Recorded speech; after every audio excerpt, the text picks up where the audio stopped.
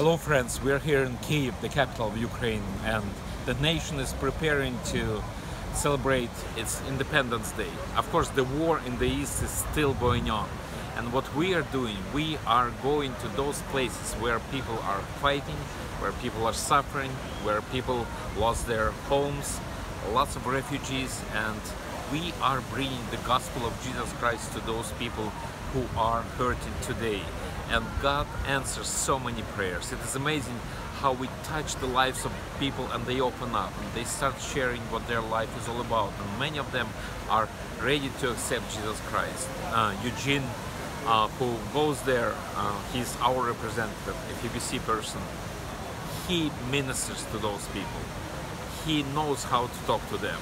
He brings the living gospel of Jesus to those who don't know where to go, people who are forgotten.